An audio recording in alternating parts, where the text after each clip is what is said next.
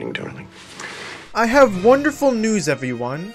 While spending two years locked in my house in the middle of a pandemic, I fell in love with a lovely little show called Star Trek The Next Generation. This show is the most wholesome thing I've seen in a very long time. If I had to explain the appeal in one sentence, I'd say it's a show about people going on campy space adventures in the most responsible way possible. There's a lot of talk about the right way to do things and what we can glean from exploring sci-fi concepts.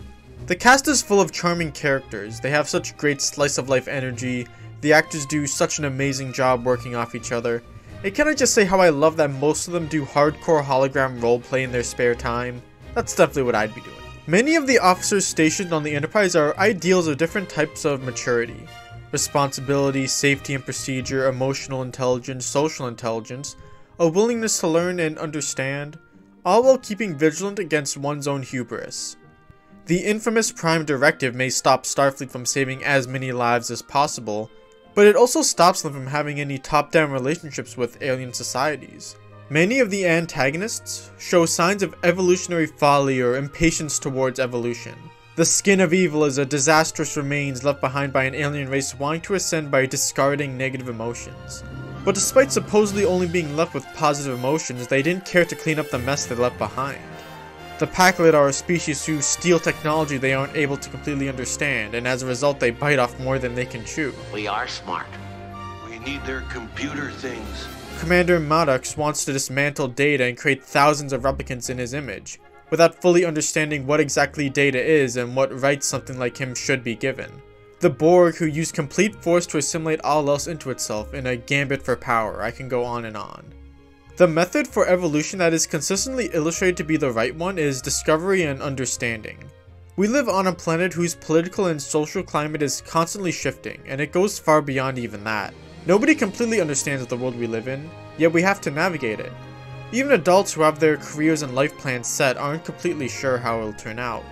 Never know when something unexpected like a pandemic might destroy your plans. It's every individual's responsibility to make some sense of it all. An incredibly daunting task, but seeing all these heroes navigate the unknown, showing all different types of intelligence and wisdom and leadership, a reverence for history, curiosity, yada yada, it all feels like encouragement for the future of humanity and hoping we can pull our shit together and make Starfleet ourselves someday. But also in myself, like I can somehow in some way push the boulder forward to the future by living my life, doing my part, and raising a family just like my parents did for me and what my grandparents did for them. This isn't the only media to give me that intergenerational hope for the future, but is the one that feels the most potent in regards to the maturity aspect. Ah, All while being a comfy sci-fi show, it's, it's comfort food. But don't take my word for it, Watch the show yourself and see what thoughts and emotions it can pull out of you. But The Next Generation isn't the show I want to spend the next half hour talking about today. Oh no, I want to talk about Deep Space Nine. And brother, I'm about to spoil the crap out of it.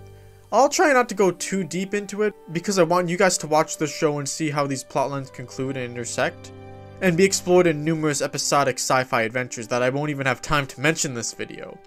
So strap in to infinity and beyond. I'm Puff the Freaking Pirate, and this is a Star Trek Deep Space Nine analysis. Deep Space Nine is still a very comfy sci-fi adventure show, but a little less so than The Next Generation. I think the best way to describe why is with the set design. The Starship Enterprise from The Next Generation is full of bright, warm colors and lighting, primarily lots of orange and beige.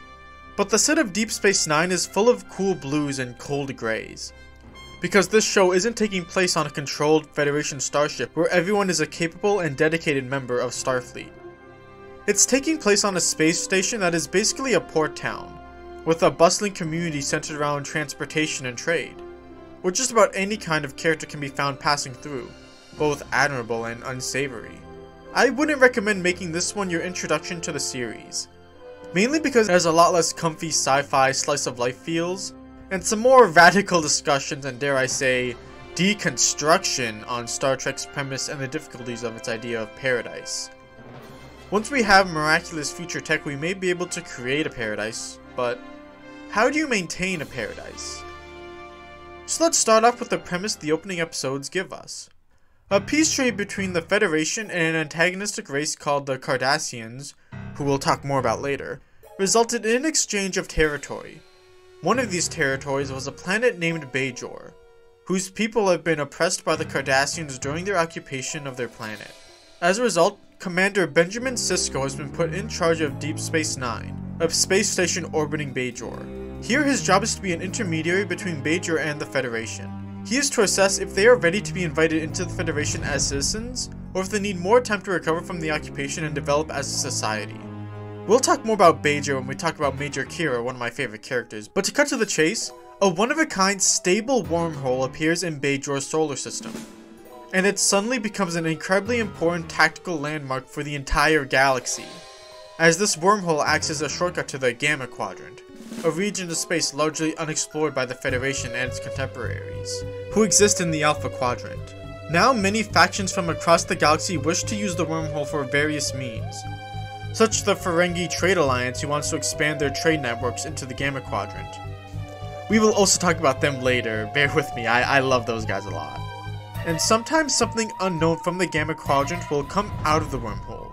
Deep Space Nine and by extension Bajor are now the gatekeepers to the wormhole, and have to regulate, assist, and sometimes investigate everyone coming and going through. In this delicate situation, the series explores the meaning of paradise, and questions if it is even possible in a universe not unlike ours. And this is done largely through one of my favorite Star Trek characters, Commander Benjamin Sisko. Sisko is not unlike Jean-Luc Picard. Both are great illustrations of a hopeful and responsible commander who carries the Federation's ideals on their shoulders, as well as valuing their crewmen above all else. But Sisko is more down-to-earth and cynical than Picard he's more than willing to make more conservative and safe decisions when he deems the situation dire enough. Commander, launch torpedoes.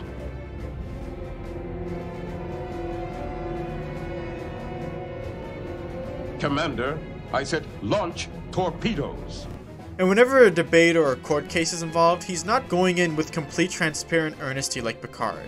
He's more than willing to use weapons like pretense and disingenuousness to get his victory. Find out something about this captain I can use. Was he reckless? Did he have a reputation for drinking? Did he have a death wish? Something. I'll see what I can do. At one point, he's even willing to use forged documents to solidify an alliance.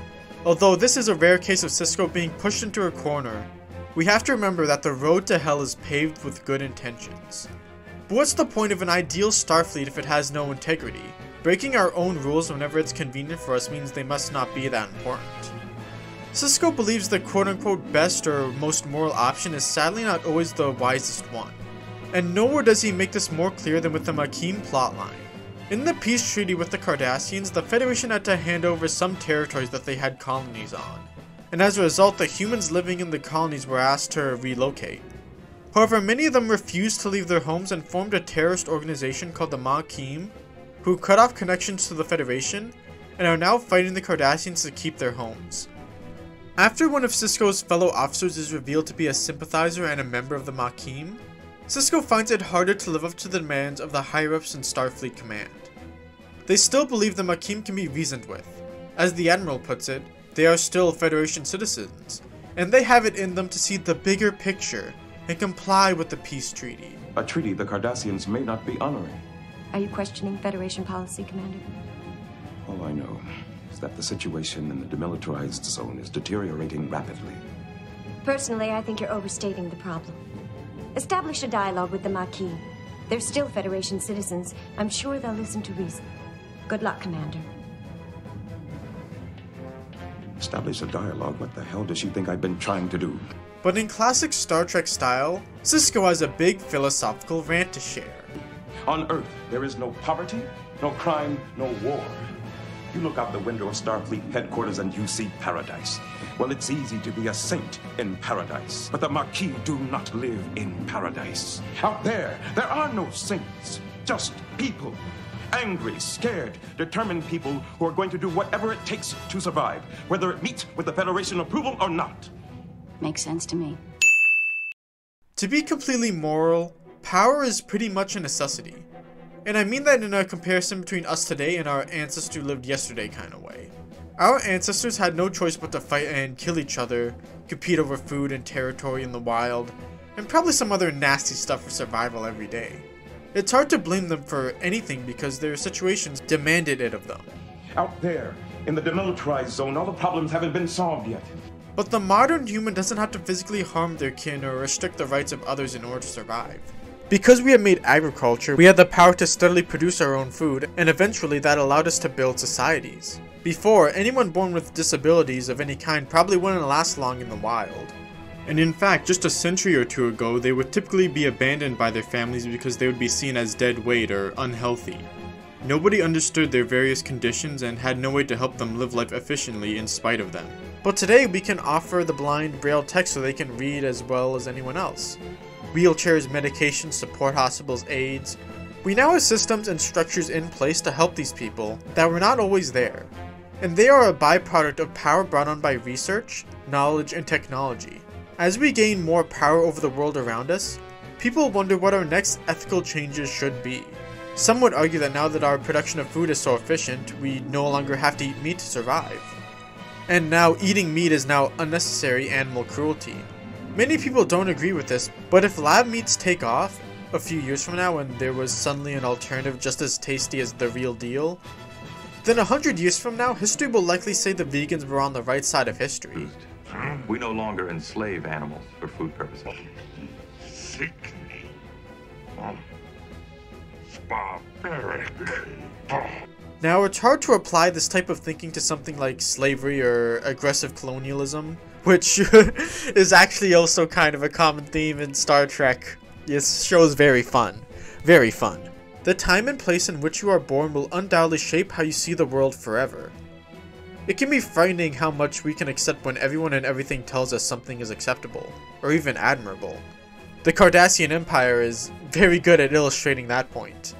Of course technology can't magically solve every ethical dilemma in our current day, and having higher tech doesn't automatically make us more ethical than people from 100 years ago.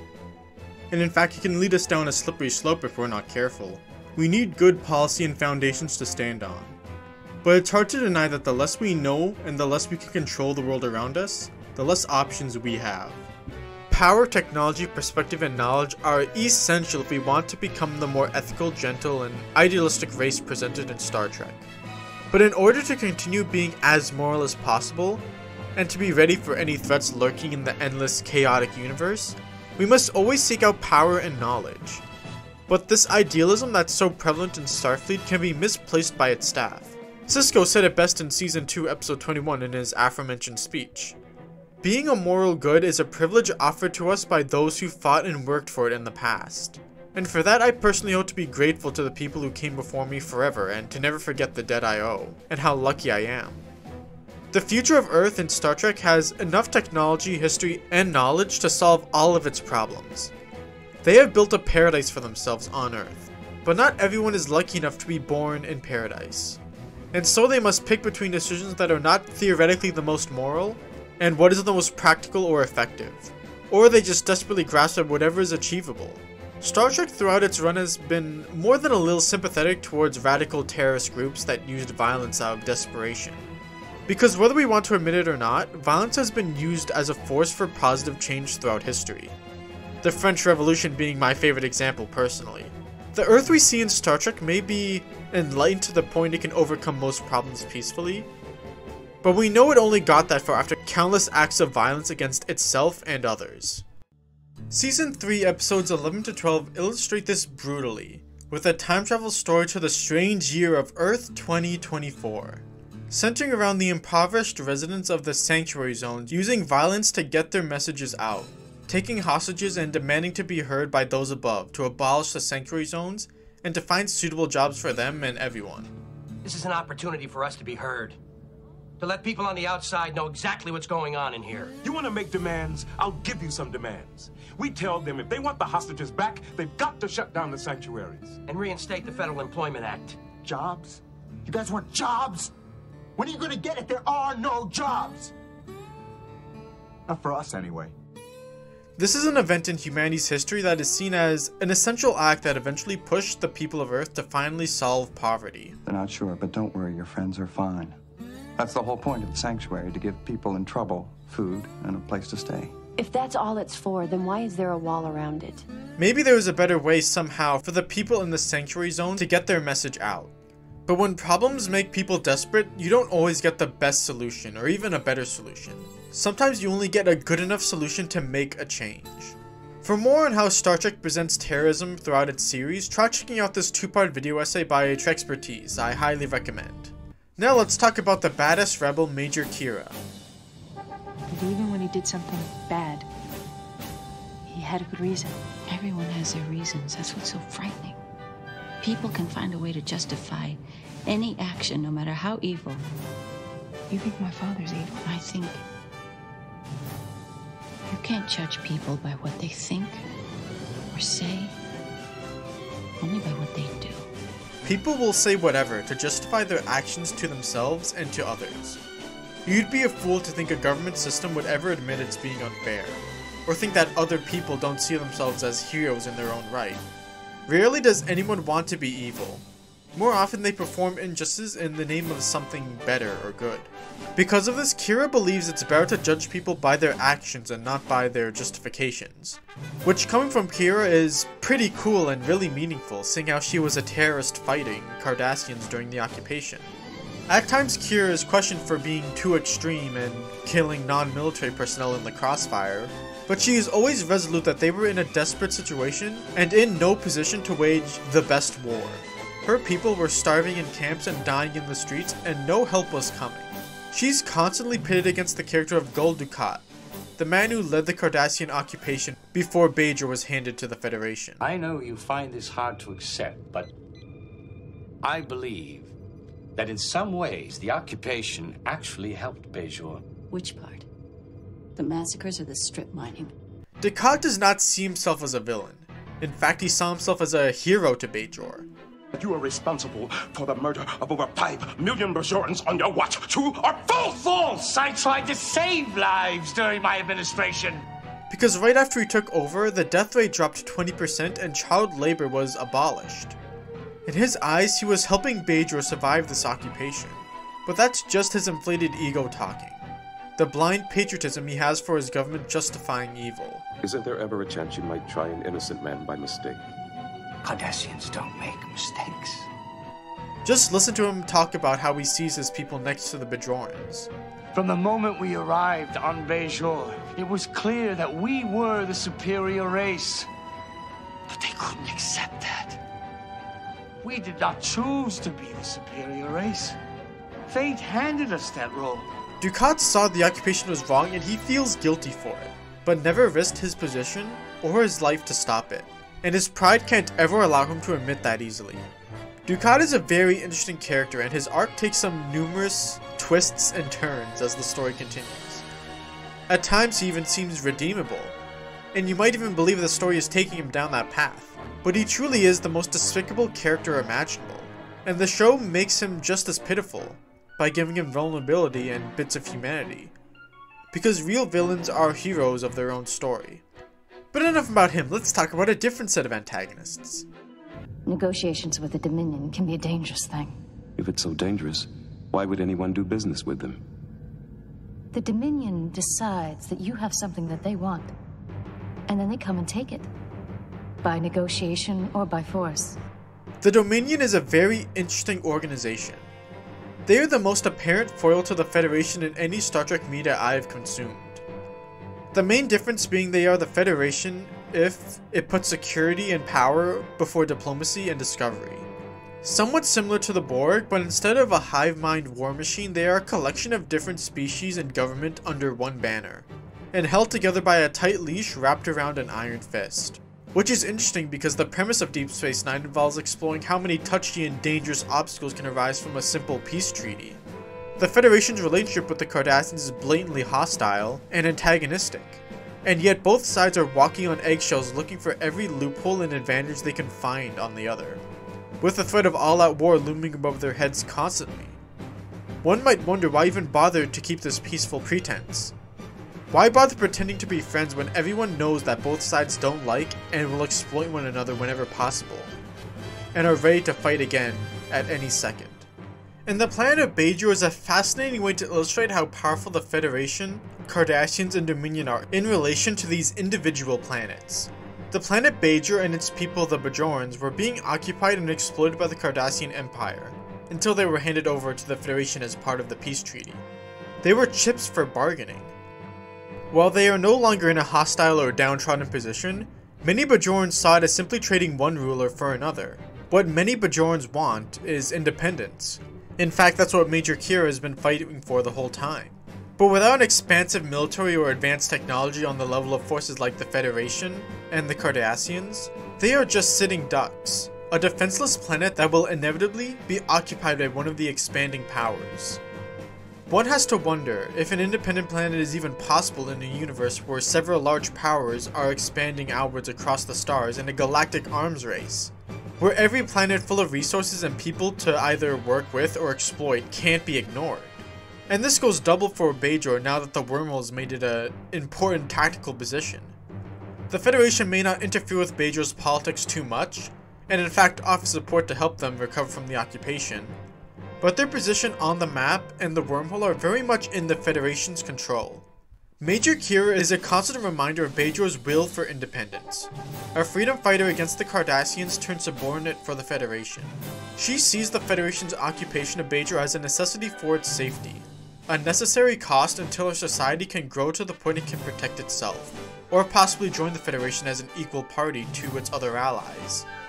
As we said before, in some episodes Kira's past is criticized for being too radical or too extreme, but she always stays resolute that even if she couldn't wage the best war, she was not wrong in fighting for her people. But Kira's absolute mindset is challenged in two ways throughout the series. The first of which is her blatant racism towards Cardassians. Now of course her prejudice comes from fighting through a war, but she comes to understand that completely demonizing the other side is obscuring the truth. Doing that might make fighting easier, but once the dust settles, seeing things that way can only lead to trouble. Why? He wasn't our heel. Why? He's a Cardassian. That's reason enough. No.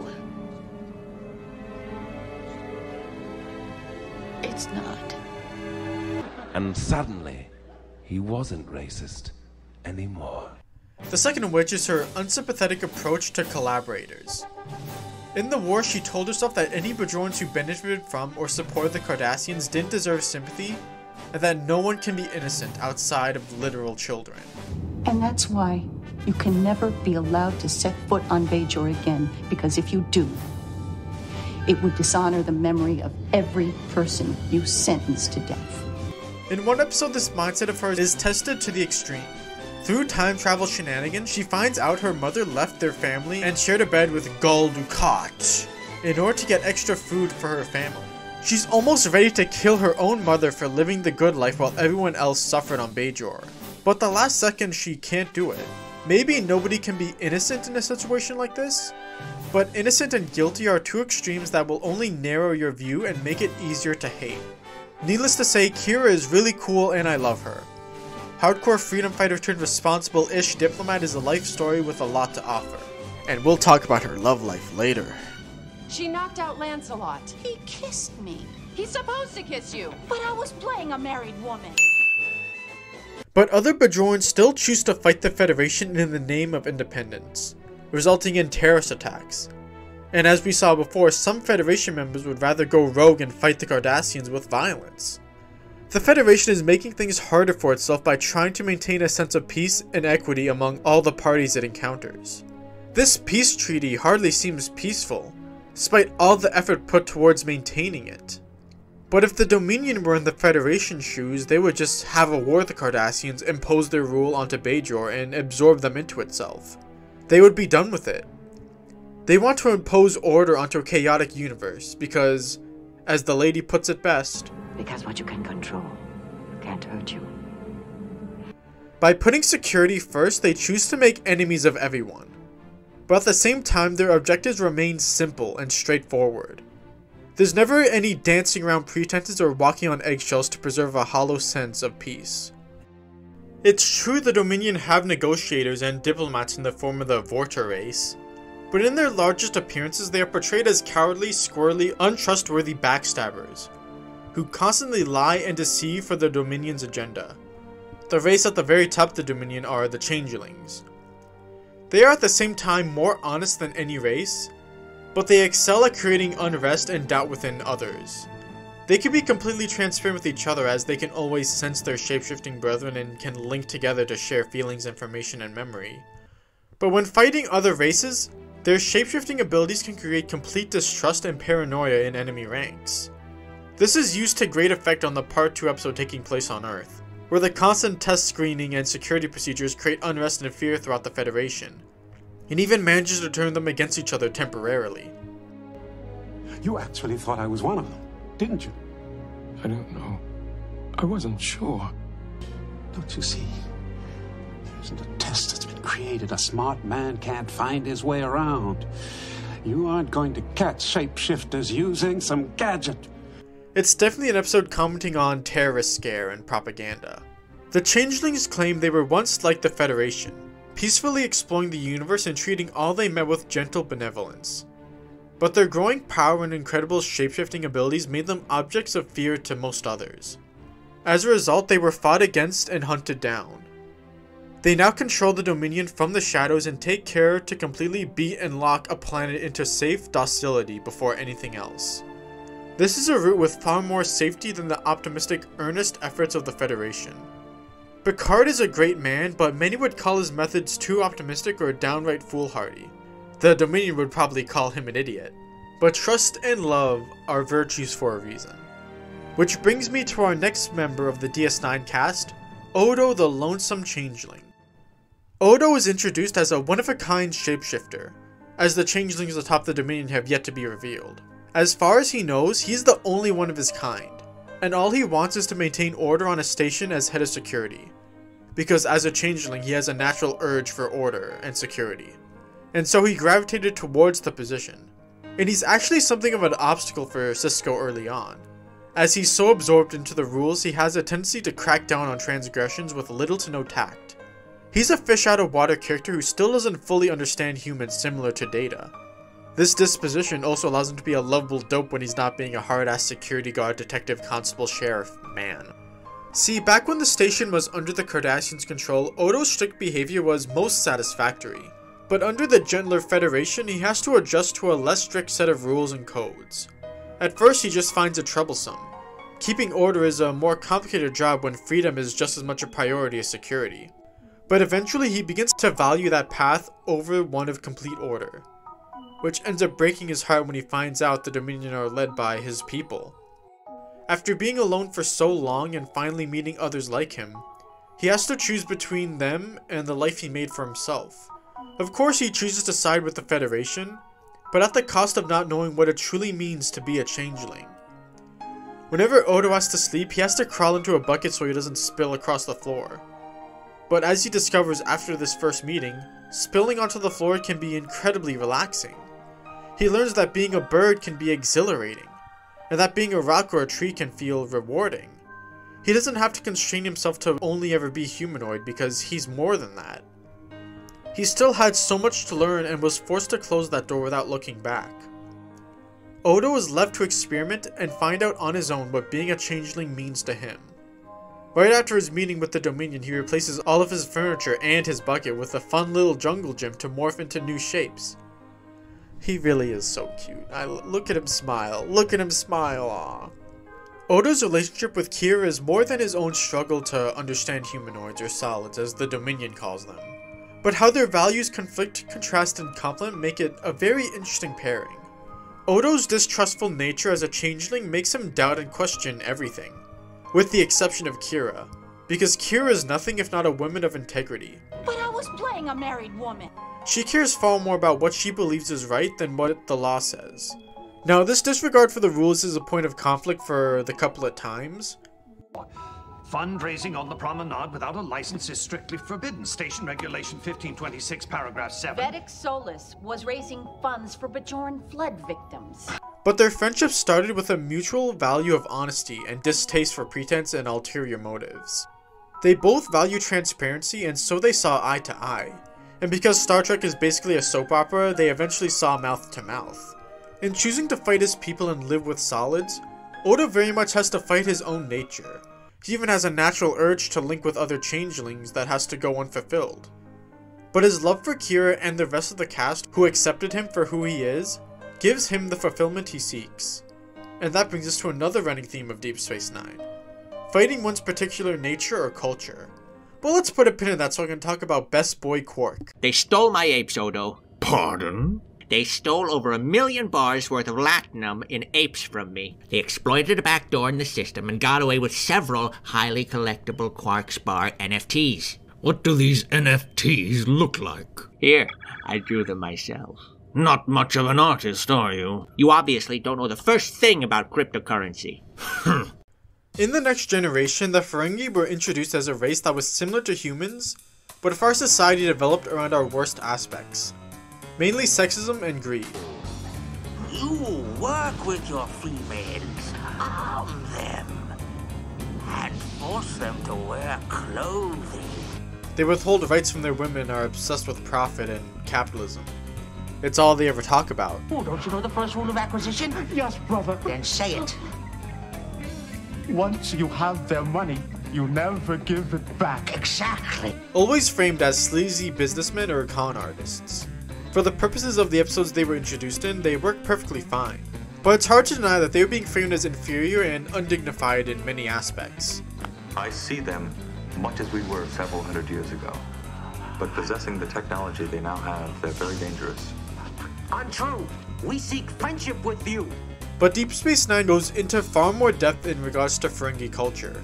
And the character it most often explores with this is Quark the bartender.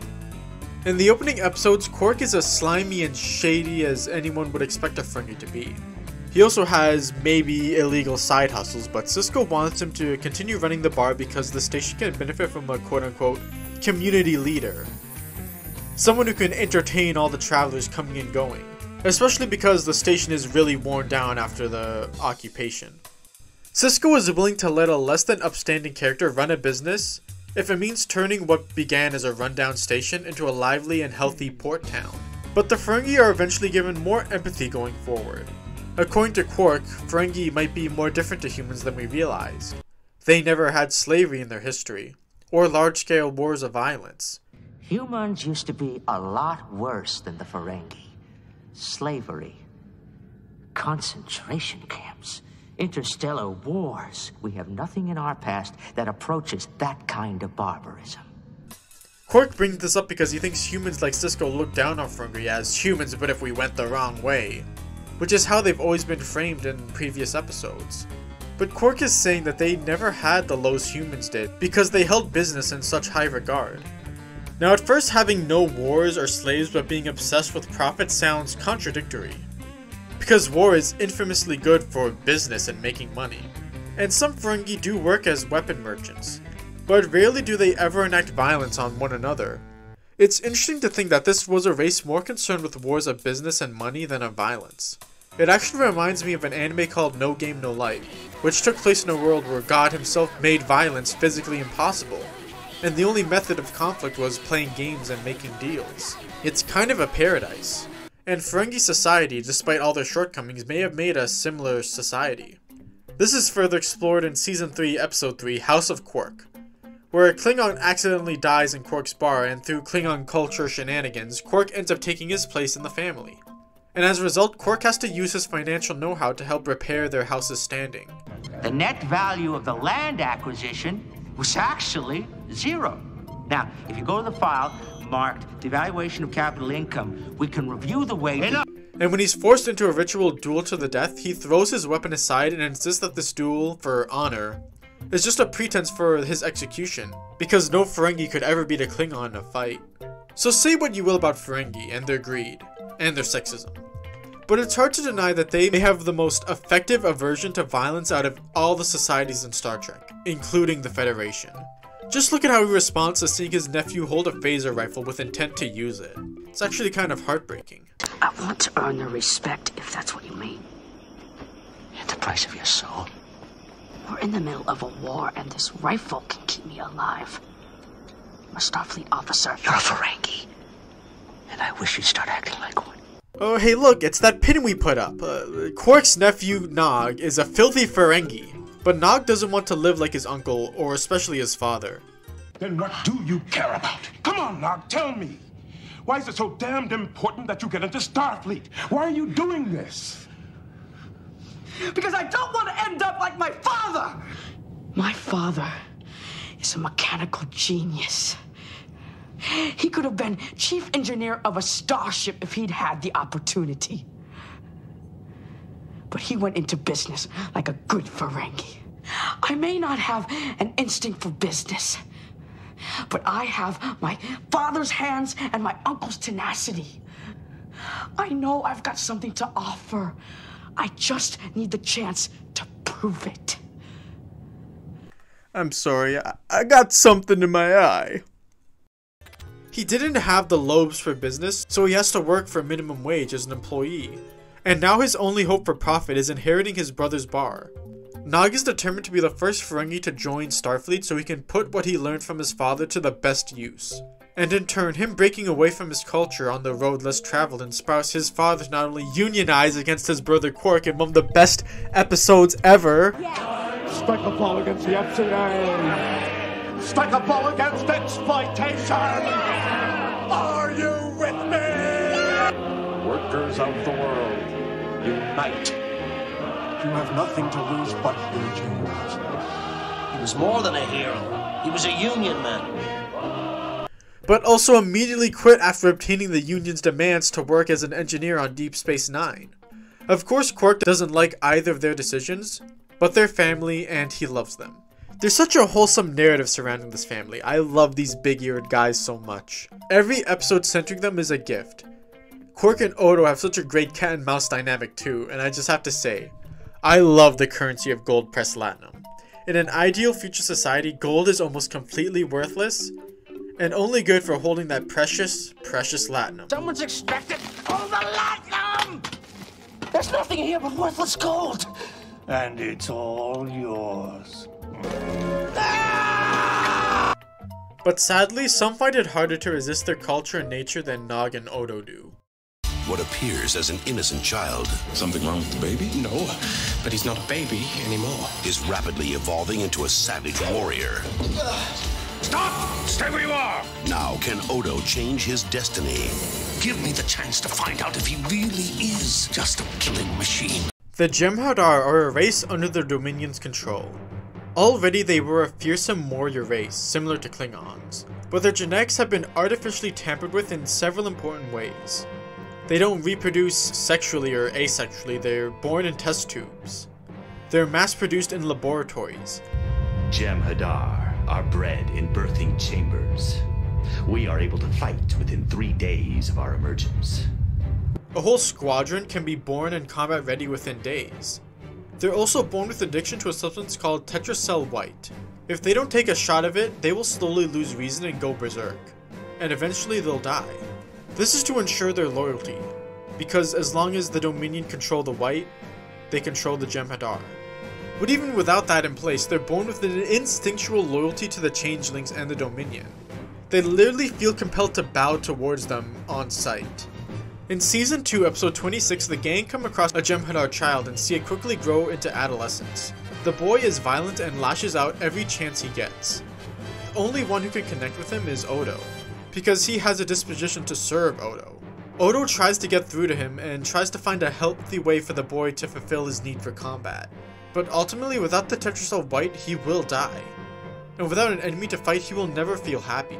He wants to return to his people, and Odo is left with no choice but to let him go back to the Dominion, where he will surely fight and die within a matter of months. See, the average Jem'Hadar soldier doesn't live long.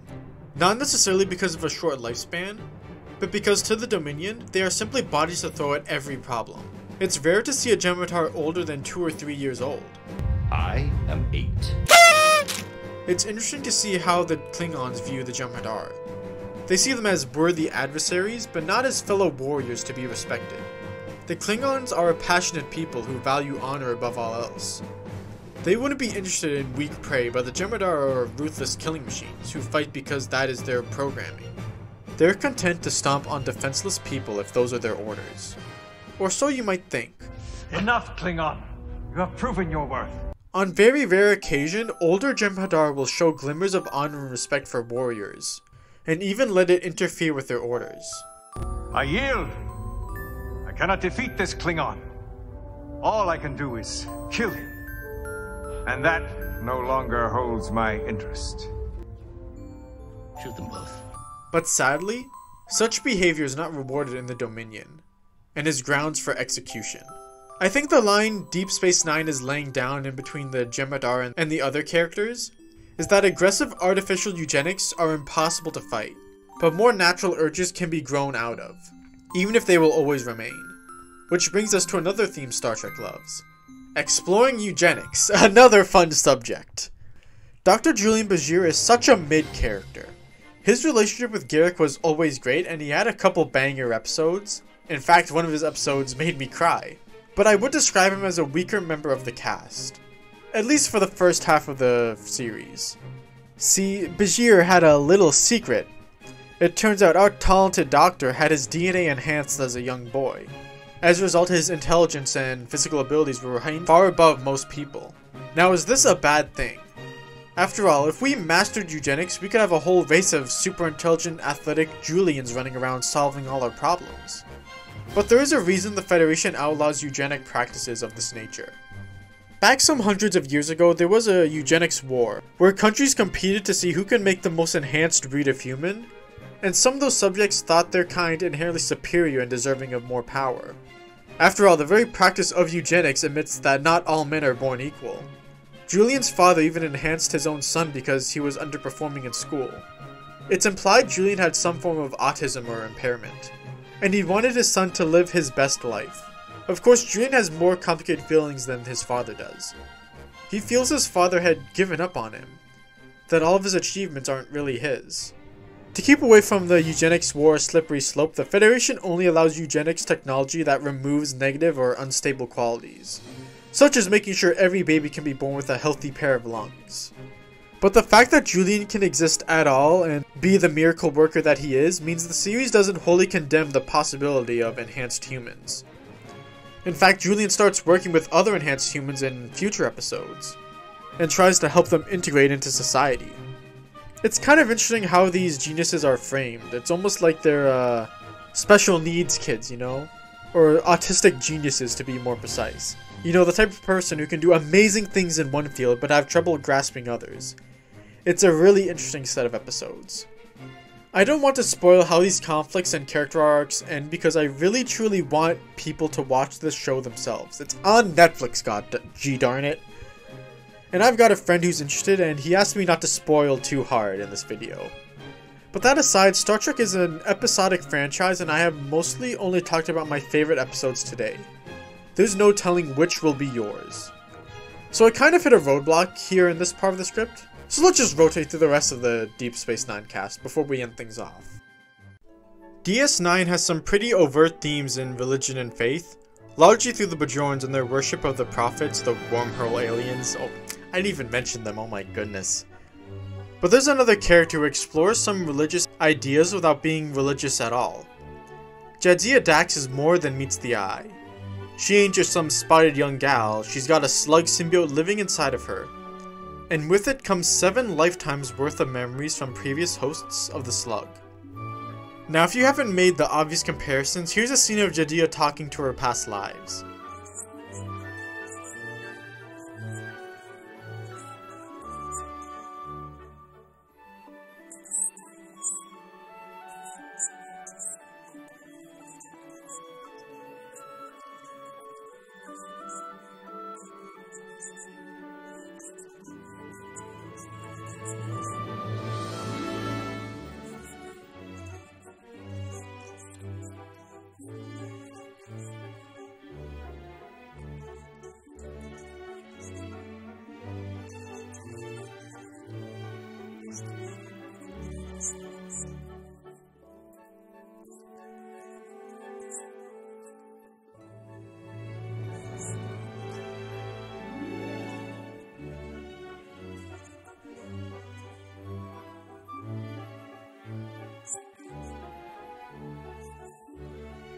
See, it's just like that scene from Avatar, the, la- the last Air- Avatar, the Last Airbender.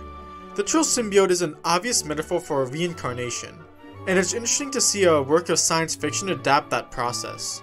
Of course, the specifics of how much of the other hosts can Jadzia represent is questioned throughout the series. She makes it clear that every new joining is an individual person, even if the symbiote remains the same. It just means the new host is carrying the others with them. This process is also very obviously a metaphor for transitioning genders. One of Jadzia's first scenes is her talking to Sisko over how their relationship might change now that Jadzia is a host and not Curzon. Or to put it another way, how their relationship might change now that Jadzia is a woman. Although if you want to take this reading hyper literally, then Sisko is a bigot who constantly misgenders our queen Jadzia. That's not why we're here, old man. Regardless, Jadzia is always a fun and laid back voice in the cast. She is a lot more chill than the other characters and that really helps show her age. She's lived many a life and knows how she wants to make the most of this latest one. Miles the Curly Chief O'Brien is a goddamn working class hero. He's very much an ideal of a blue collared man. Hard working but always making it clear he's overworked. And is ready to help unions uprise wherever he can. I love the Chief and he plays off everyone else so well. He's definitely the most abundantly relatable character as he's the character who focuses on family and friendships the most. Although O'Brien does make my biggest complaint for Star Trek bubble to the surface.